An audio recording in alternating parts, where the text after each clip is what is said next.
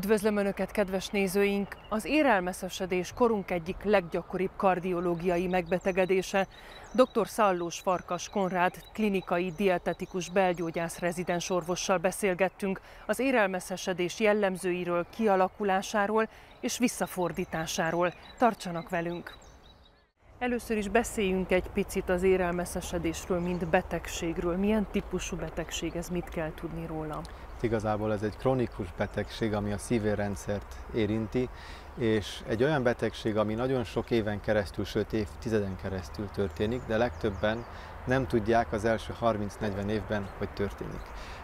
Vannak kutatások, amik azt mutatják, hogy már néhány hónapos csecsemőkorba beindulhat a betegség, attól függően, hogy milyen életmódja van a gyereknek. A koreai háborúból vannak kutatások amerikai katonákon, akik elhunytak a háború miatt, akiknek autopsziát végeztek, 20-20 valahány éves fiúkon, akik, akiknél jó százalékban már ott is látható volt az érelmeszesedés. Tudjuk a szakirodalomból, hogy ez egy olyan betegség, ami, ahogy mondtam, sok évtizeden keresztül lassan fejlődik, egy gyulladásos betegség, mert mindig, ahol vannak ezek a lerakodások az érfalba, ott van egy gyulladás is. Sőt, egy jellegzetessége több modern korbetegségnek, beleértve a keringési betegségeknek is, és az érelmeszesedésnek, az egy állandó típusú, alacsony szintű gyulladás, ami szükséges ahhoz, hogy ezek a betegségek fejlődjenek előre. Hogyha abszolút nincs ilyen típusú gyulladás, akkor nem nagyon fejlődik.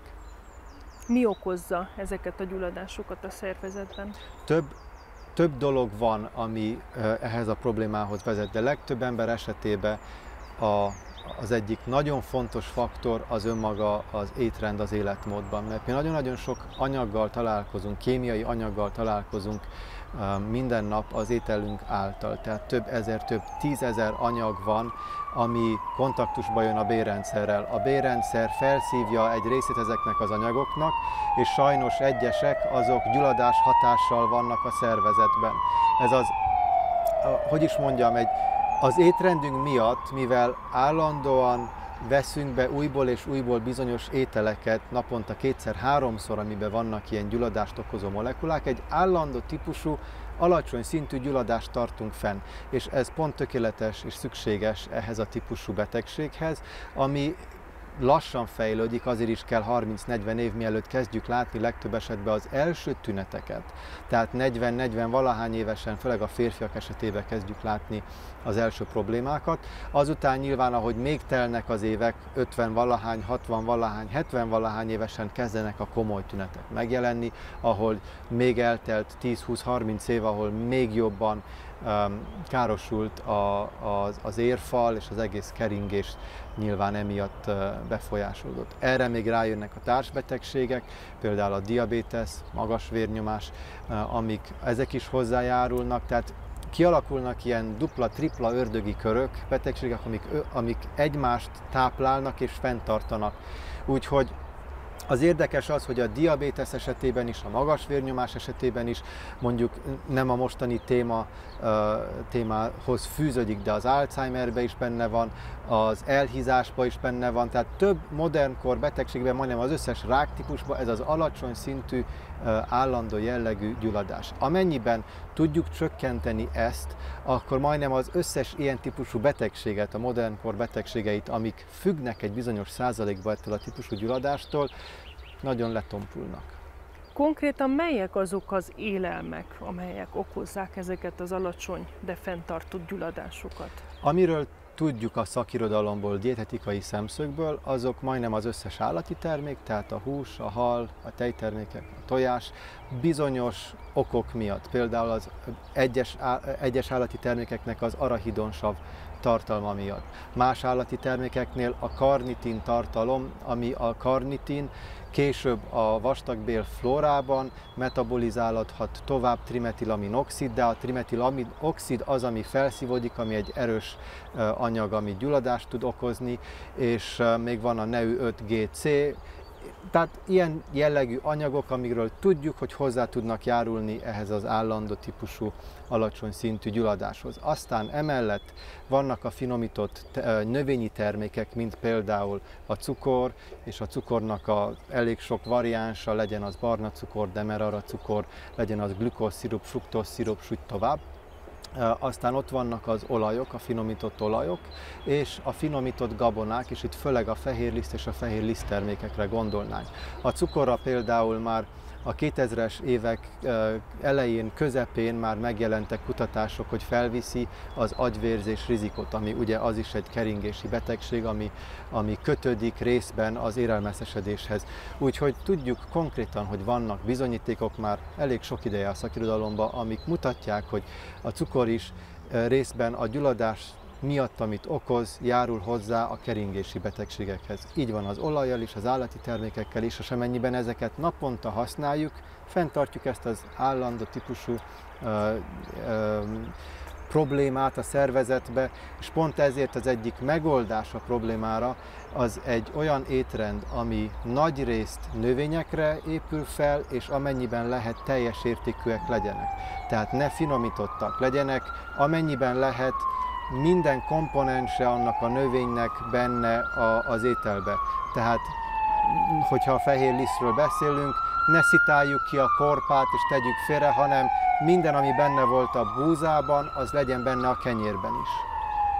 Melyek az elsődleges tünetei az érelmeszesedésnek, illetve hogyha már jelentkeztek ezek a tünetek, mit tudunk tenni a visszafordítás érdekében? Hát ez nagyon attól is függ, hogy um, kiről van szó, mert többféleképpen jelenhet meg egyeseknél az első komoly tünet az egy szívinfarktus. Tehát egyből azelőtt semmi, és egyből az első komoly tünet az egy szívinfarktus. Másoknál lehet az angina, ami egy ilyen szorításos típusú fájdalom, ami a szívnek a, a, a, az izom fájdalma, amiatt, hogy nem kap elég oxigént és tápanyagot, mivel el vannak dugulva az erek. Másoknál és a férfiak esetében az egyik első fontos jel, amit gyakran nem kötnek össze ezzel a problémával, az az impotencia lehet, mert elmeszesednek a pénisznek az erei is, és sajnos ott nagyon gyorsan látható ennek az érszükületnek a hatása, és sajnos sokan nem tudják, hogy ez azt jelenti, hogy ha impotencia áll be,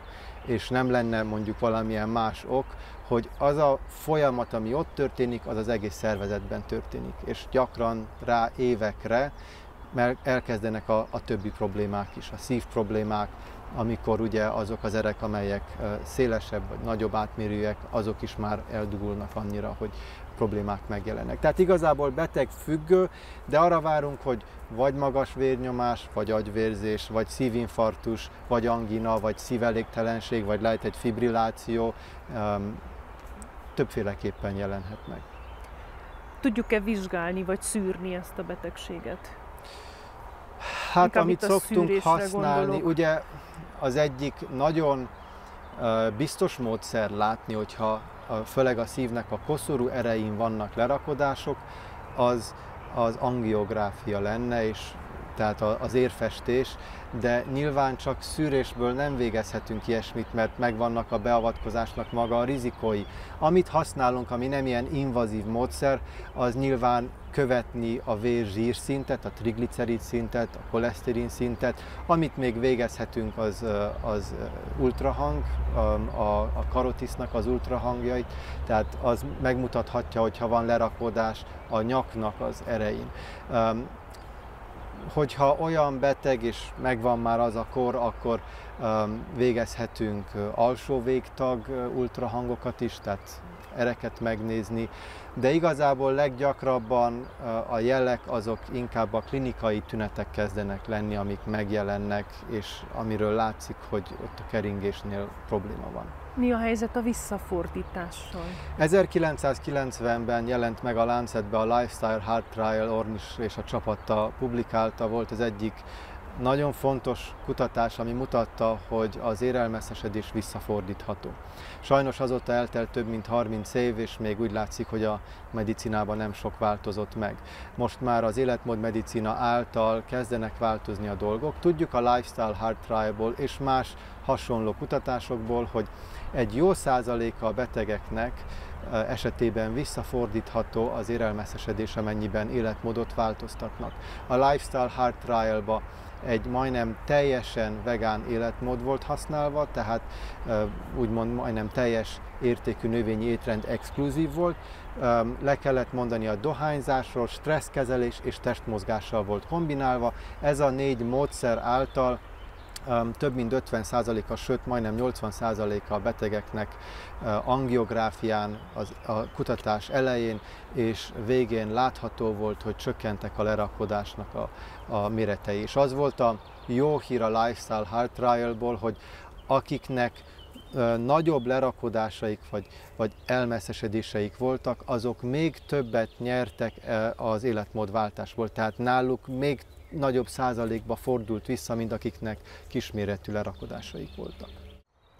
Kedves nézőink, ennyi fért a mai Informetbe, tartsanak velünk a jövő hétfőn is 5 órától. Szép napokat viszontlátásra! Thank you.